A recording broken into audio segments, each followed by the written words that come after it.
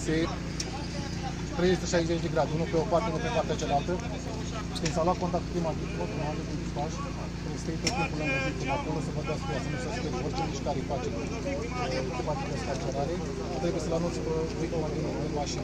Vedeți că acum colegii noștri de la descarcerare nu se ia stabilizează mașina în spate, sau de zgomotul.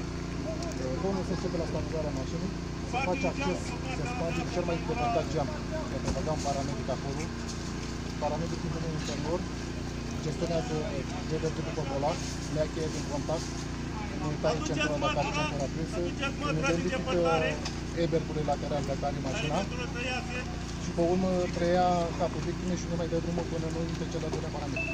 În 3 minute maxim trebuie să administreze oxigen, deci să fac și al doilea parametru. Pe urmă să verifică calarea construcției mașinilor și pe urmă se începe la descarcerarea propriu-zisă.